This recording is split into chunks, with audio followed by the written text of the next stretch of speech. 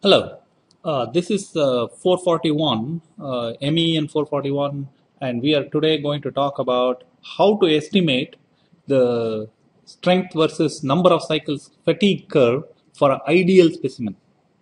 Of course, I'm kind of jumping into the middle of it because I'm expecting you to know what I'm talking about. This has to do with fatigue. So, what we do for fatigue testing is we use a very specific kind of material and specimen which is shown here. You can see that it has a nice smooth curve, uh, you know, and all these dimensions are fixed. By the way, this is in uh, this is in FPS units. Book has SI units, so you can take a look at that. Okay, so this is what is called the R.R. Moore bending specimen, rotating bending specimen.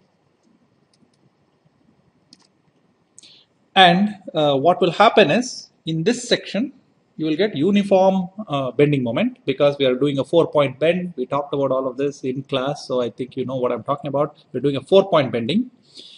And when you do that and you plot number of cycles along the x-axis and the strength and the stress that you applied along the y-axis, you will see two things. First, if you apply ultimate tensile strength, it will fail in the first cycle. That's 10 to the 0. Can you see that?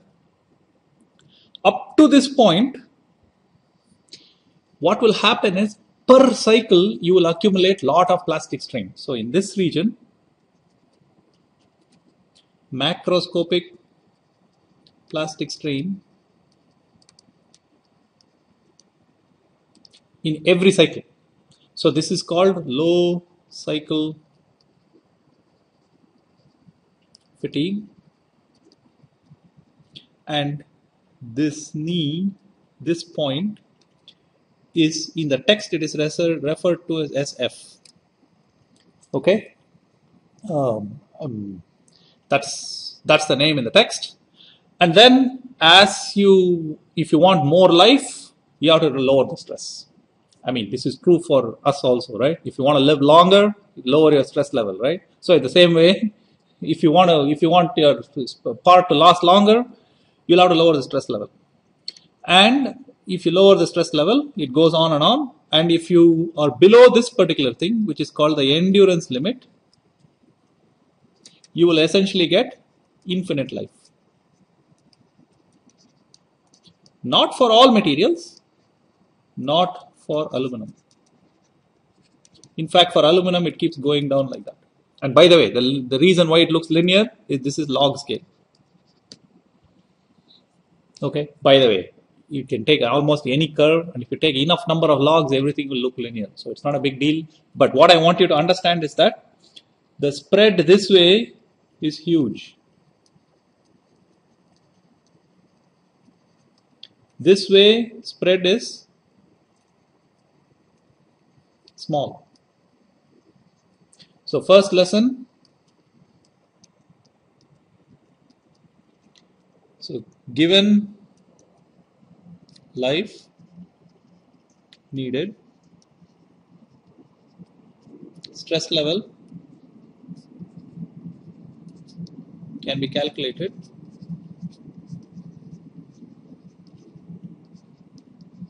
very accurately. On the other hand, given stress level, life is not very well known. But very is all, you know, this is all vague stuff. So I wanted to understand that reasonably. What I mean by that is, um, you can get one decimal place accuracy in your stress. You can tell me whether stress is like 100 megapascals or 200 megapascals or something like that. You cannot really say whether it should be 147.63 megapascals. That kind of accuracy we won't get. Life, on the other hand, really you can only say whether it's 100, 200, 300, you know, uh, 10 to the 3, 10 to the 4, 10 to the 5 cycles. Beyond that, you cannot really say much. Okay, so I wanted to understand that the spread is huge sideways, spread is not very uh, very huge on the on the vertical direction. Okay, so The thing is, we can fit the curve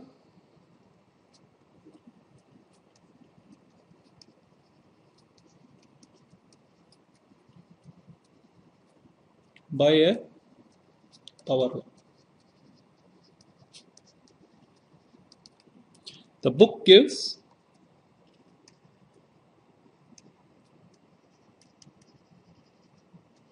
and this is equation 6.13 6-13 on page and this varies varies with the textbook but on our textbook it is 285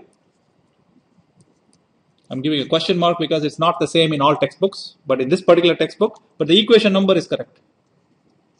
Equation number 613 it tells you that the fatigue life at any particular value of number of cycles is given by a times n to the b.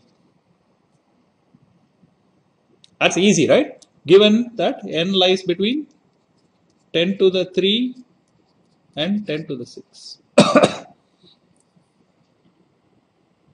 so, so if you know, if you know A and B, you can find number of uh, strength. So if you know A, B and N, you can find uh, how many, what's the stress that you can allow. This is for ideal, we will worry about the non-ideal case. So we're going to put a prime here. This is for ideal rotating bending.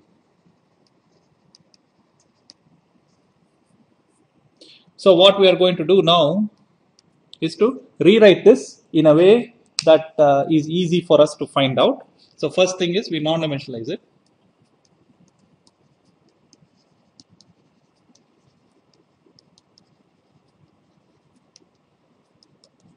and write it as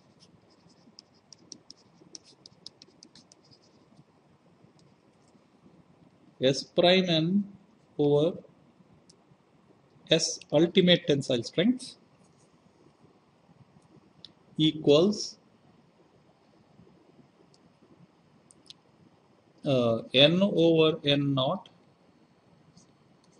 a times n a bar times n over n naught to the b. That's how we're going to write it. Okay, so you can see that a is related, so b is the same. a equals a bar SUT divided by N naught to the B. Okay, our particular choice. So what we are going to do, how do you find A and B? How to find A and B? We know that we need to know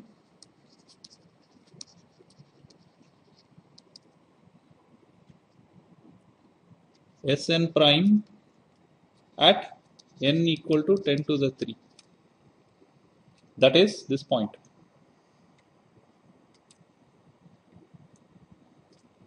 And we need to know this point. If I know two points, I can draw a line, right? So that's all we're, trying to say. Okay. So the other one is yes, endurance. This is at 10 to the 6.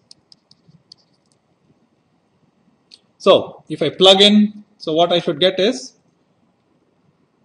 S um, 10 to the 3 prime over SUT equals um, A bar times n over uh, 10 to the 3 over 10 to the 3. So we're going to pick n naught equal to 10 to the 3 so this is 1 to the B. So this is A bar. So this is the ratio of endurance limit to the ultimate tensile strength. If we know this ratio, we are done with A bar.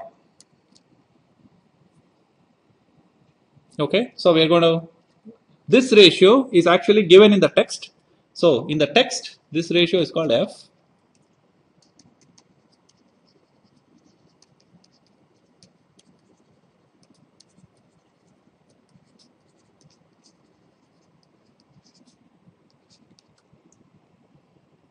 and so we have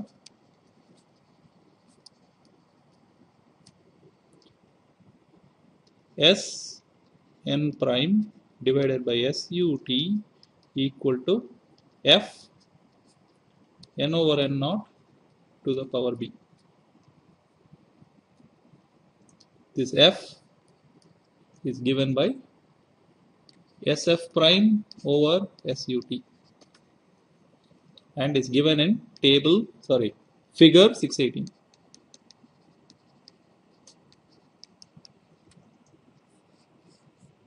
So I will show you that thing. There it is.